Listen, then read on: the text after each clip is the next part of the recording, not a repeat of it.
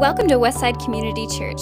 Here, Pastor John shares the vision and the continuation of the Making Room for More campaign. What I want to do this morning, I just want to take a few minutes, about 10 minutes to, and so I want to just update you on where our family is at as a church when it comes to our, um, our building program. If you're not familiar with what's happening at Westside, we have over the last three years packed this place out. This morning, not because you're the only nuts to go out in this weather, but anyways, typically, uh, you know, even in our second service is chaos. We often use the lobby as overflow, the fireside room. Um, and, and, if you went into our children's ministries, any of the rooms, the nursery, uh, the uh, preschool, the elementary, they're just packed. Uh, this church is filled every night of the week. It's amazing how many people come to Westside. I tell people all the time if you don't understand it, nearly 7,000 people attend Westside Community Church. That's a lot of people. And if we all showed up on the same day, we'd all be in trouble. Come on Christmas Eve communion and, uh, and Easter, and you'll see most of the family. Um, on those days, we'll have almost 4,500 people will all be together here. And uh, it's crazy. Most Sundays is about 2,000 uh, people that attend Westside on a given Sunday. And, um, and we're blessed. God has blessed us very much so. So, for the last couple years, we've been looking at building plans. We've been talking in leadership circles at the board level about building a new building, about building something larger. And we've looked at all sorts of designs. And, uh, and in the last year, we really sat down and we dreamed big. And I don't know if you've ever built a home. Uh, I remember about 13 years ago when Michelle and I began to look for homes that we wanted to buy. We were done renting and we wanted to build a home. And so I got a builder, a friend of mine. He said, John, he said, just draw me a picture of what you want. He said, I can build anything. So Michelle and I sat down at the table and we drew up this drawing of a house we wanted. We wanted a, we wanted a two-story home with a walkout basement, and, and we wanted to have enough to have four or five bedrooms. And I wanted to have a man cave, and she wanted to have a little room where she could have her things. And so we drew this picture, and, and he came to the house. And when he came to the house, he sat down across the table from us, and he said, uh, he said, so this is what you want? And I said, yeah. And he said, well, how much money do you have? And I, and I told him how much money I had. He literally took the piece of paper, held it up to us, and then ripped it in half. And he said, I can do this half or this half. What do you want? And, um, and that was kind of what happened with us, okay? We drew some pretty amazing pictures of everything we wanted. We wanted a walkout this and we wanted extra that. And, and we realized we just don't got that kind of money. You all didn't give it. Anyways, um, so we literally got the message that it was basically ripped in half and you can do this half or that half. Well, we chose, uh, we chose what we believe God really wants us to do. So I just want to show you some renovations we've made to it. Um, I, I, will forewarn you, uh, we knocked a little over $2 million off the price tag, which we're excited about. And somebody said to me one day, they said, Well, John, if you can knock $2 million off today, why didn't you knock $2 million off a year ago?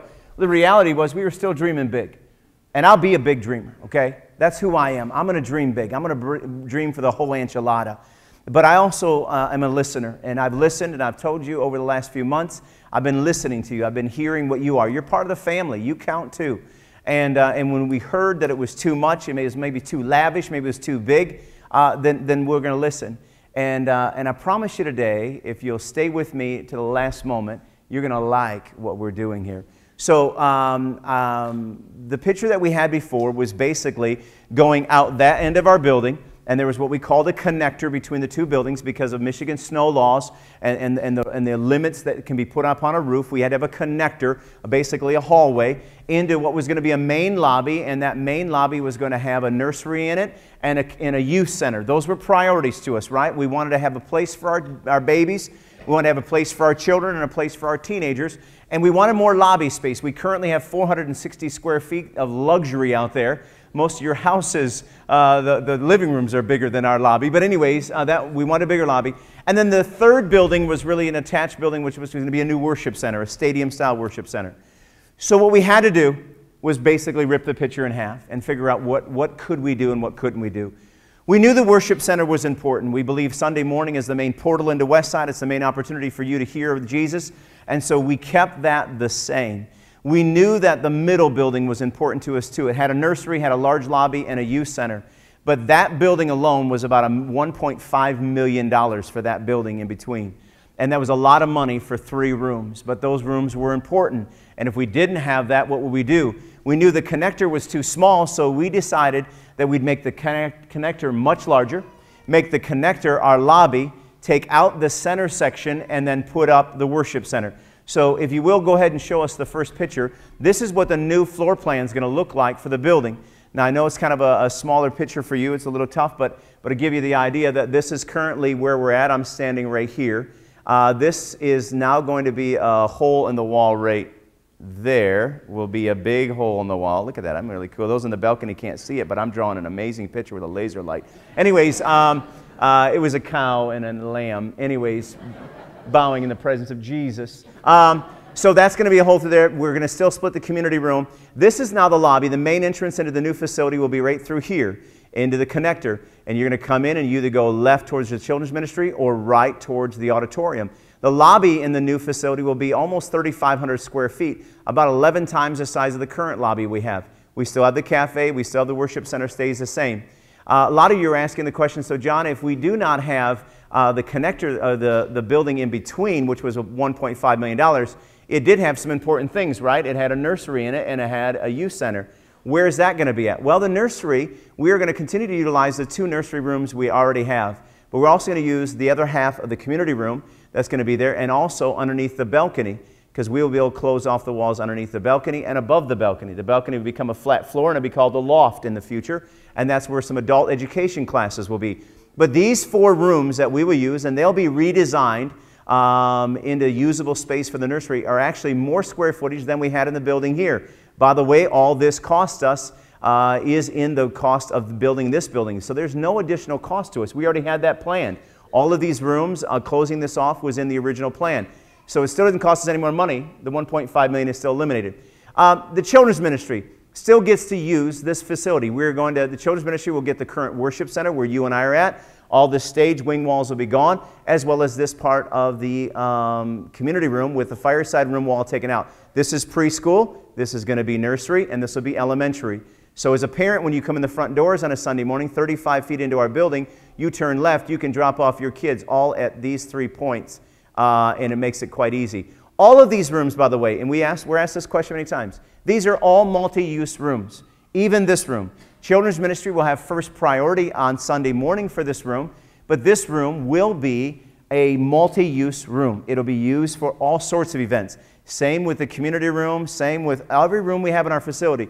There was communication that seemed to go out that explained that, well, if this is children's ministry, it's only used by the children. That's impossible. Westside is still too big to get everything into one room. Nobody can really own or have a room.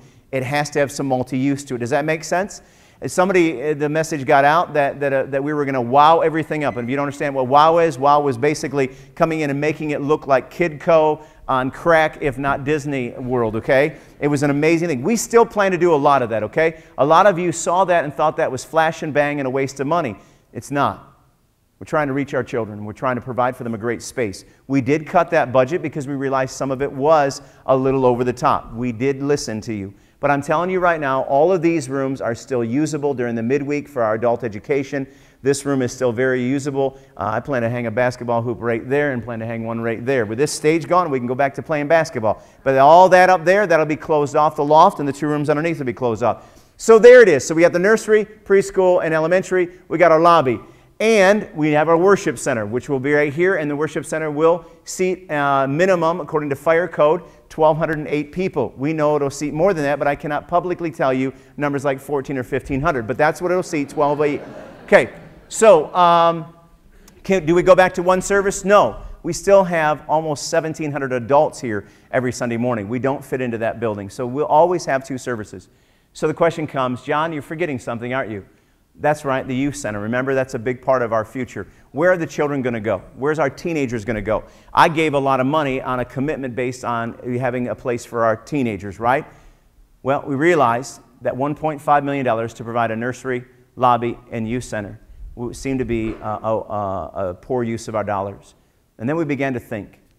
And it was in conversation I had with our, our two guys, Johnny and Stephen, who work in our middle school and high school ministry. And it was Stephen who said to me one day, he said, Johnny said, I'm okay if we don't have a youth center. He said, in the new facility, he said, I'm going to be okay. We do it right in here on Wednesday nights. 150 teenagers come in here. He said, we'll, we'll, we can keep doing that. He said, I know someday we'll have our own building. And it occurred to me have your own building. So we began to research what would it cost for us to build this And basically, this is going to cost us, these two buildings together with all the renovations, with all the wow, with everything together, less than $1.8 million. Do you remember the old figure at $4.9 million? $1.8 million. We currently have a little over $1.3 million that is committed. We just need about another million three from you. And, uh, excuse me, we just need, a, my math is terrible. If we have, one. I need about 500,000 and we'll pass a plate, which we never do. Anyways, uh, 500 grand to finish that. Um, we still have some debt on this original building. And then we realize that um, we'll have our own building someday, right? So it occurred to me why don't we just make a youth center, an independent, standalone youth center? Why don't we make a building where the teenagers can go to? We can heat and cool it more uh, economically, we can secure it much more easily. So we decided to build um, a youth center out front also. And so here is going to be the site plan of that youth center. You'll see it on the map here. And so this is currently our facility we're in now, the new lobby, the worship center. This is the parking lot we currently have. We're going to make some changes to design and we'll put more parking lot out front. And then out in the front yard, we'll set a new youth center. 7,200 square feet, by the way. About 1,000 square feet of it will be used for adult education space in there, but the youth center will have over 6,000 square feet, and it'll be somewhere out in that general direction there. Um, and we get more parking space. By the way, doesn't that look like a car? Anyways, so go ahead and show the schematic of what it looks like, the line drawing. So this is where it's going to be. So you're going to come in Sunday morning up the main drive. You'll enter through the current connector, go left for the children's ministry, or right into the worship center where the cafe's at, or you go right over here to the youth center. But we're going to build that out in the youth, out in the, the main area. Right now, we know that the figures are somewhere around $300,000 uh, for materials. I believe that what we can do as a church, so what we can do as a congregation, is why don't we buy the materials for that, right, through the campaign? But why don't we all build that building? Why don't we all get a little dirty, right? Why don't we all help put up this youth center? We can't do that on this building because it's a commercial building, but this falls under a different categorization. And my thought was, why don't we have some work days, right? Where you get to put in a little sweat labor, where you get to spend a little bit of time with us, where you get to use your efforts and talents and gifts. We are looking for you to invest in this. And so, how exciting for us as a congregation to fit the DNA of Westside that, that we, could, we could put that building up, but we put it up with our own hands. What do you think about that?